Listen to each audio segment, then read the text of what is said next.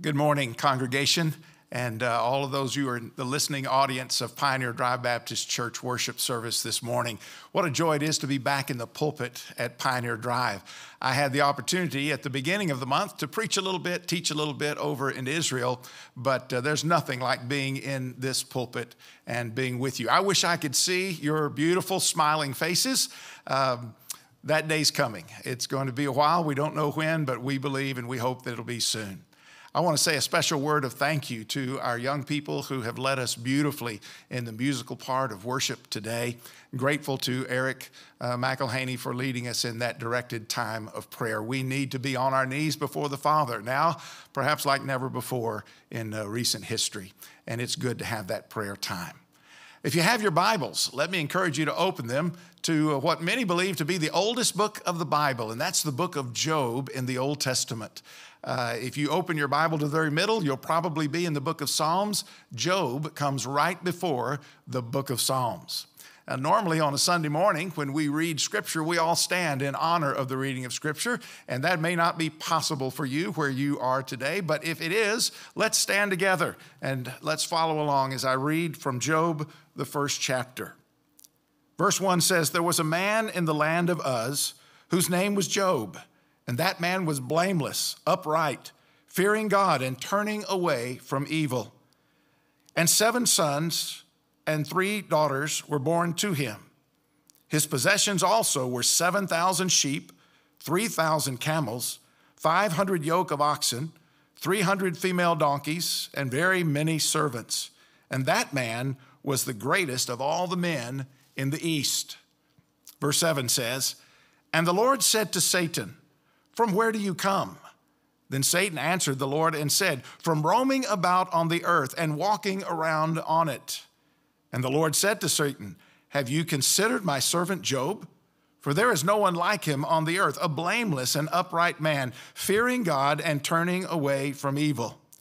Then Satan answered the Lord, Does Job fear God for nothing? Hast thou not made a hedge about him and his house and all that he has on every side?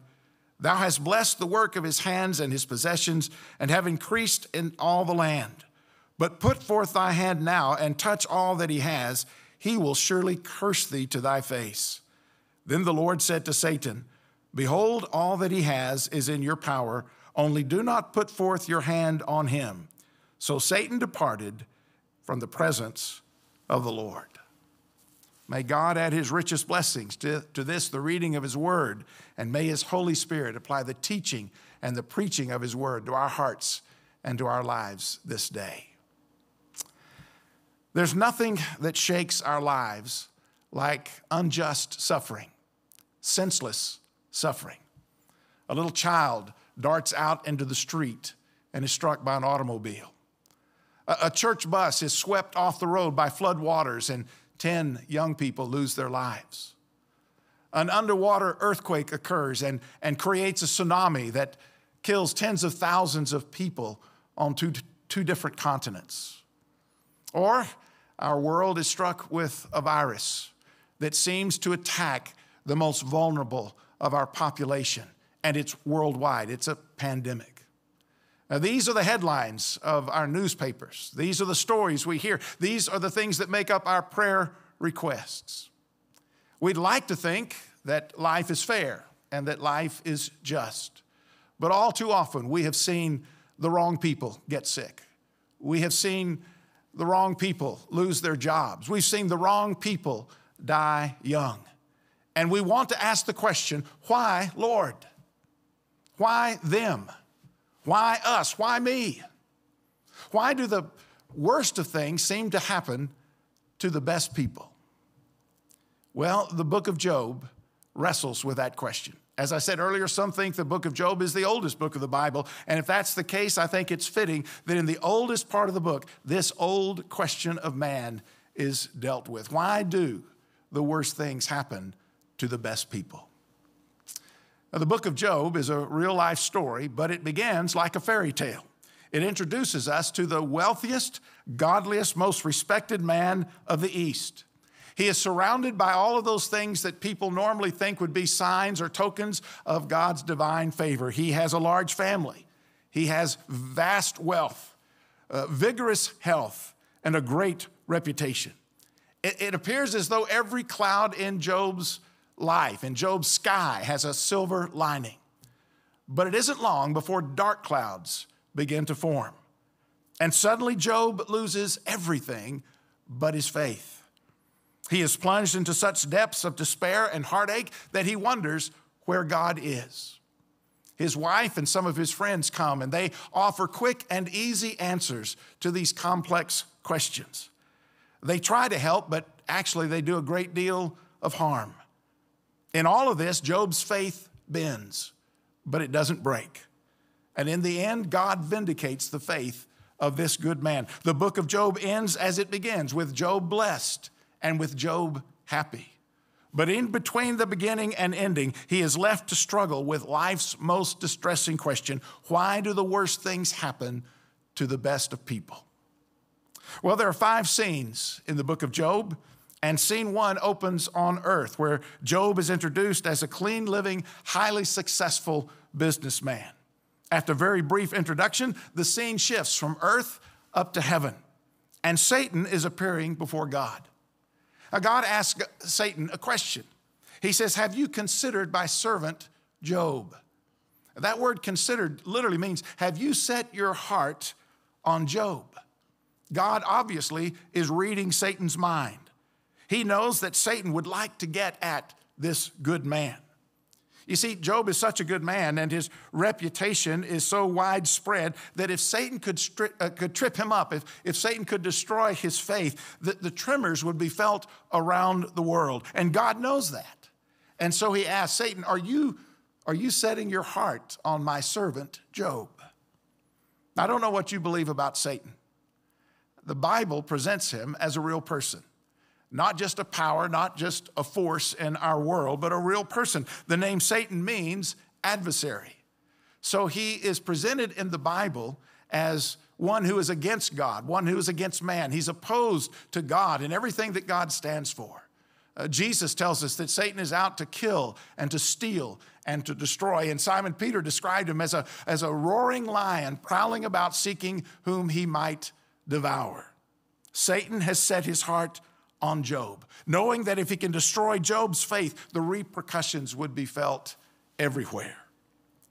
You need to remember this. The more you mean to God, the more you mean to Satan. Well, he couldn't find anything wrong with the character of Job, so he begins to attack the motives of Job. Satan says to God, God, you, you built a hedge around, around Job. You have protected him and you have, have blessed him tremendously with all these good things. If that hedge were taken away and he lost all of these good things, I could get to him and his faith would crumble and fall. Now, God knows that the faith of, uh, of, of Job is real, but Satan doesn't know that, and Job doesn't know that, and Job's wife and friends don't know that. No man knows the quality of his faith until that faith is tested.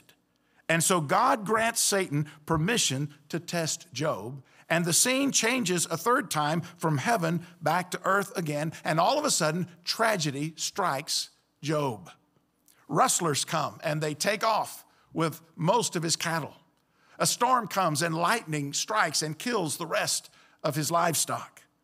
His children are celebrating in a house and a cyclone comes, and all 10 of his children are killed. And suddenly, this man, Job, is as bereft as a person can be. But in all of this, the Bible tells us that Job did not sin, nor did he curse God or blame God. He rather worshiped God, and he said, The Lord gives, and the Lord takes away. Blessed be the name of the Lord.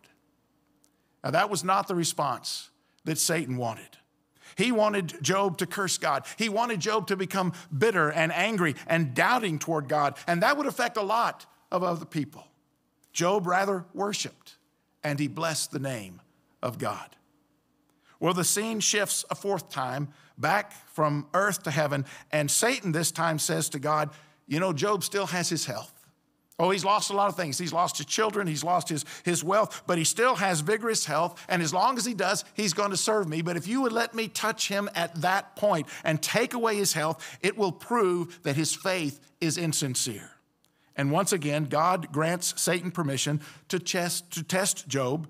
And so the scene shifts a fifth time from heaven back to earth again. And all of a sudden, Job's body is covered with these hideous sores in excruciating pain, he goes out to the city dump and he sits down in the ashes and begins to scrape his body, trying to get rid of those sores, trying to get some relief. It is a pitiful picture. The city dump is a place of discarded things. And here, this great man is once again sitting in the place of discarded things. He's grieving, he is destitute. His wealth is gone. His children are dead. His body is racked with pain. Job has lost everything except his faith in God. Now, let me stop here for just a moment to point out two or three things in the story thus far that we must not miss. The first thing is this it was not God who caused Job's problems, it was Satan. Now, to be sure, God permitted it, and above every experience that we have in life, there, there must be written those words permitted. But there's a great difference between God causing something and God permitting something. It was not God who stole Job's cattle. It was not God who sent that cyclone that killed his children. And it was not God that sent the disease to his body. It was Satan. And Satan has done such a tremendous snow job on our world. He is the cause of most of our problems, and yet he's so clever, he's so cunning that God gets the blame. Second thing I want you to note about this story is that all of this happened to Job not because he was bad, but because he was good. It didn't happen because Job lacked faith, it happened because Job had faith, and Satan was out to destroy it. Now, you'll find some well meaning folks today who will say to you in the midst of difficulty, in the midst of tribulation, in the midst of your suffering, that this is happening to you because you don't have faith or you don't have enough faith. If you just had enough faith, you would be well, or if you just had enough faith, these troubles would go away.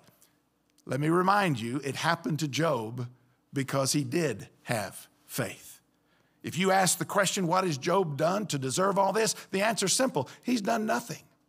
He's done nothing. You read those first two chapters and you discover that Job is God's very best man.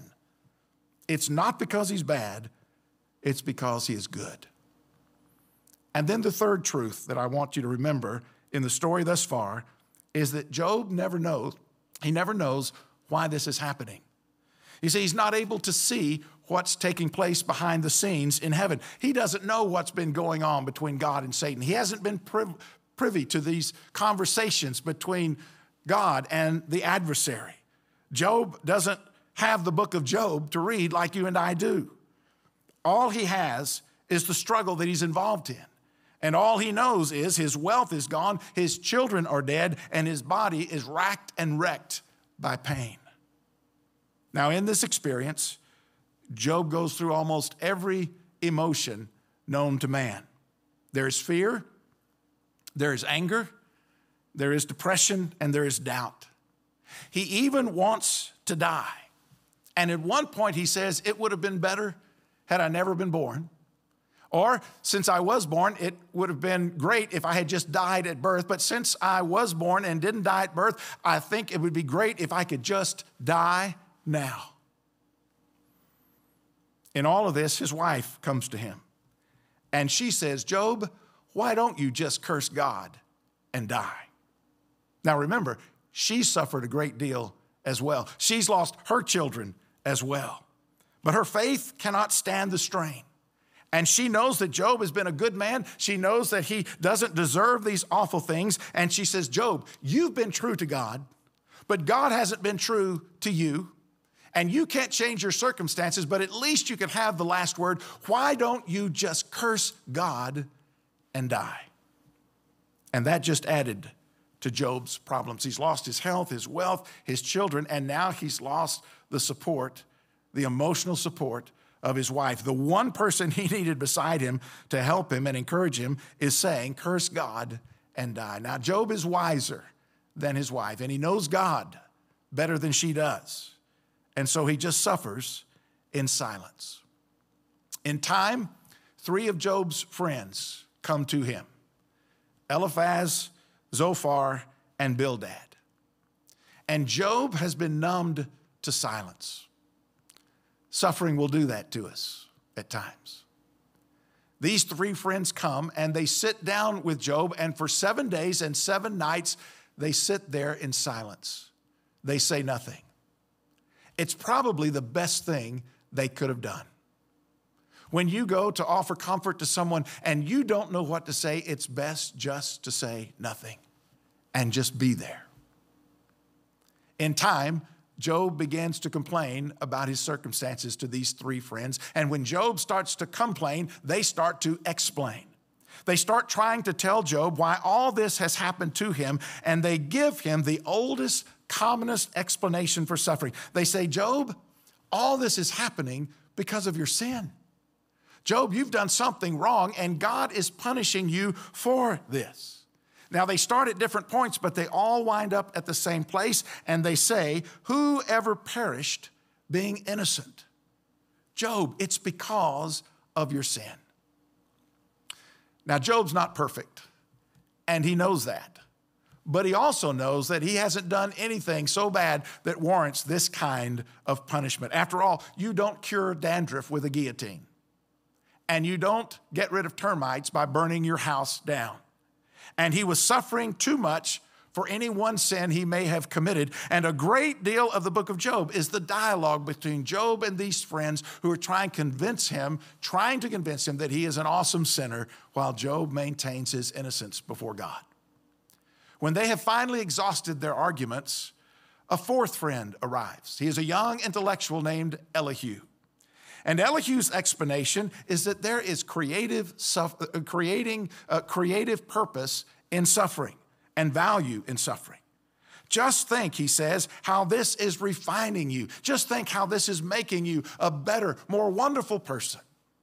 Job is in no frame of mind to think about being refined at this point, so he enters into a dialogue with this young man, and it goes on for a great while. I want you to remember this the arguments put forth for suffering in the book of Job are not God's arguments. They are God's record of man's argument. Did you get that?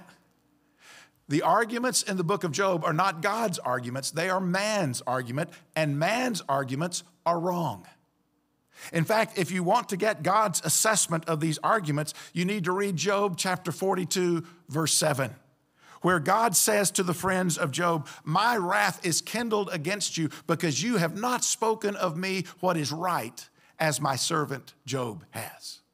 What those friends said to Job was wrong, what Job was saying was right. Now, it's not until the 38th chapter of this book that God comes to Job. He finally appears.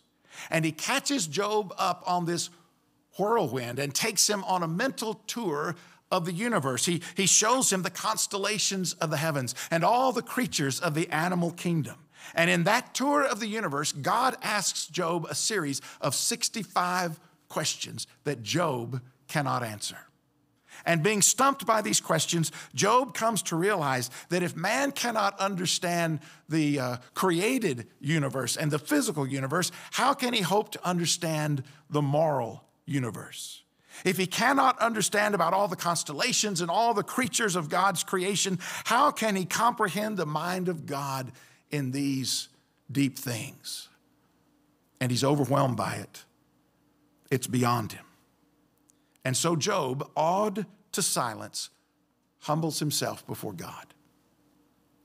Now, throughout the book of Job, God never answers Job's question. And if you're, if you're waiting for an answer, I'm sorry, it's, it's not coming. God never answers the question of Job's mind, but he does meet the need of Job's heart. You see, he doesn't give Job an answer. What he does is he gives himself to Job as the answer His presence, His power, His counsel, His hope. And in reality, that's what Job really needed. He didn't need an explanation from God, he needed an experience with God. And once Job came to recognize the wisdom of God and the power of God and the, the, the, the, the genuine experience that he had with God, oddly enough, his questions didn't seem to matter as much. Part of the message of the book of Job is just that it is that God does not owe us an explanation for life, and we're probably not going to get one from him. And if we're going to not just survive during these days, but if we're going to thrive in this world, then we must learn to trust God even when we don't know why things are happening as they are. We have to anchor ourselves to an all knowing, all loving, all powerful God, even when there are no answers to why bad things happen to good people or why bad things happen to God's people. And because Job trusted God and kept hanging on to faith in God, in the end, God restored to Job all that he had lost.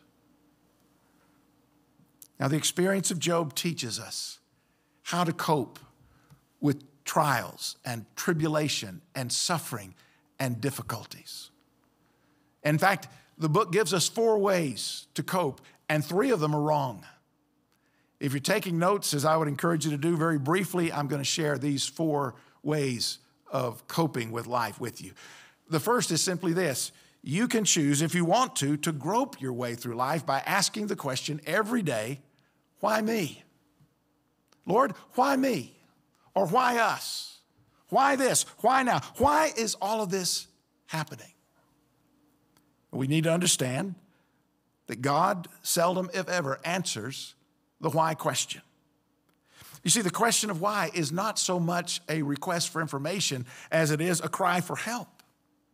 What we really want is a change in our circumstances. What we really want is someone to come and help us through this difficult time, this time of suffering. And the why question wouldn't do that. And like Job, we have to live this life in a certain degree of uncertainty as to what's going on behind the scenes. But you can, if you so choose, grope your way through life. You can sit down and say, you know what? I am not moving from this point until I know why all of this is happening. And if that's your choice, then I'm afraid life is going to pass you by. But you can choose, if you want to, to grope your way through life. Or secondly, you can choose to mope your way through life. That is, you can fill your life with self pity. And instead of saying, Lord, why me? You say, Lord, woe is me. And if you, you give yourself to self pity, always moping in life, in the end, you'll wind up worse than you were in the beginning. I'll tell you, self pity is easily the most destructive, non pharmaceutical narcotic there is in life. Paul Powell, my good friend who's now with the Lord, told of a, a friend of his who was in an industrial accident and lost his leg and had been hobbling on a wooden leg for some 30 years. And his friend's testimony was and is if you're ever crippled by some injury or illness, you must focus every day on what you can do, not on what you can't do. You must focus on what you have, not on what you have lost. But you may, if you choose, mope your way through life by focusing on what you can't do. You can grope your way, you can mope your way, or you could dope your way through life. You can pop a pill, you can smoke a joint, you can snort some powder, you can take a drink, mainline a drug. To the secularist, the single most popular way to cope with problems in life is some kind of drug, most prominently alcohol. I came across a piece that is often used by members of Alcoholics Anonymous. It says, We drank for happiness and became unhappy. We drank for joy and became miserable. We drank for sociability and became argumentative. We drank for sleep and woke up without rest. We drank medicinally and acquired health problems. We drank for relaxation and got the tremors. We drank for confidence and became doubtful. We drank to forget and were forever haunted. We drank for freedom but became slaves. We drank to erase problems and we saw our problems multiply. We drank to cope with life, yet we invited death. We drank to feel heavenly and ended up feeling like hell. Be careful about doping your way through life. If it will dry the tear, it will also dull the joy. But we can choose to dope our way or to mope our way or to grope our way through life. The best way is to hope your way through. And that's how Job dealt with his suffering. That's what got him through. Job went through terrible times. He experienced great pain, outrage, and despair. In fact, there are times, if you read the book carefully, when Job skirted on the very edge of blasphemy against God. Yet, well, while Job never gave up, well, actually, he almost did give up on the justice of God. I think there are times when he did give up on the justice of God. He never gave up on God himself. And the greatest affirmation of faith in the book of Job, one of the greatest affirmations of faith in all the Word of God, is found in that 13th chapter and the 15th verse, where Job says, Though he slay me, yet will I trust in him. New American Standard says, Though he slay me, yet will I hope in him.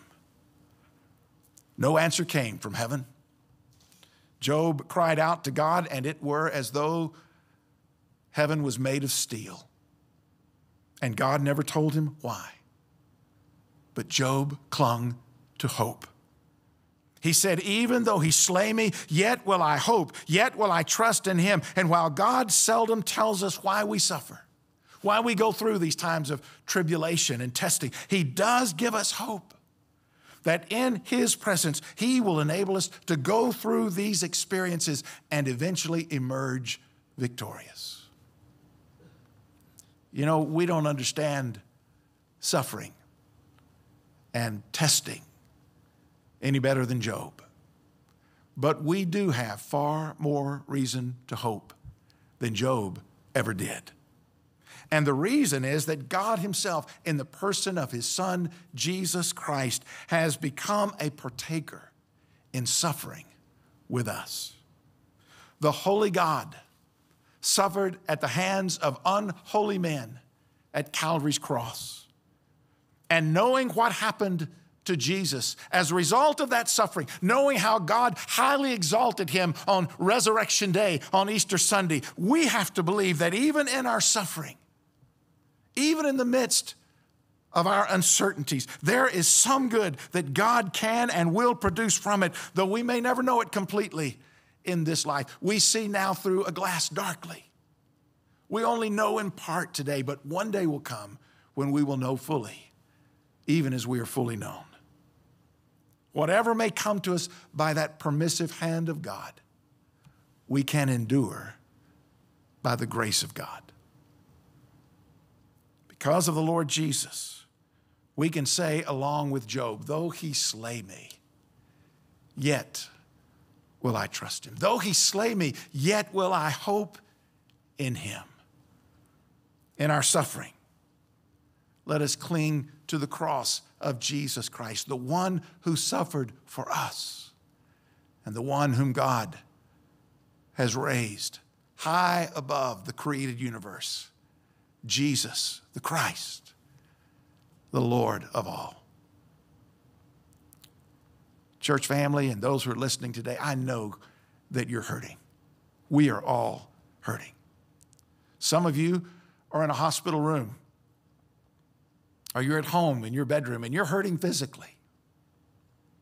Some of you are going through financial difficulty. Some of you this morning are, are hurting relationally. Maybe there is distance between you and your spouse or your children or your parents or the people that are closest to you. I know that I'm speaking today to an audience filled with hurting people. I'm hurting. We all are. Would we learn from Job today? would we understand that this suffering does not come from God?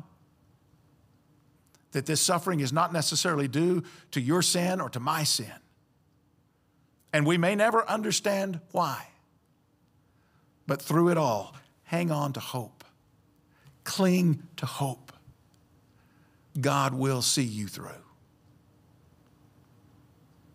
Let's pray together, shall we? Heavenly Father, we come into your presence today. We recognize that you are the giver of every good and every perfect gift, and you're the author of everlasting life. We come into your presence needing not so much explanations,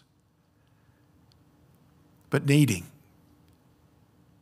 crying out for a fresh experience with you. Help us to cling to hope. Help us to trust in your goodness and in your grace. Lord, thank you for your promise that you will not leave us and you will never turn your back on us.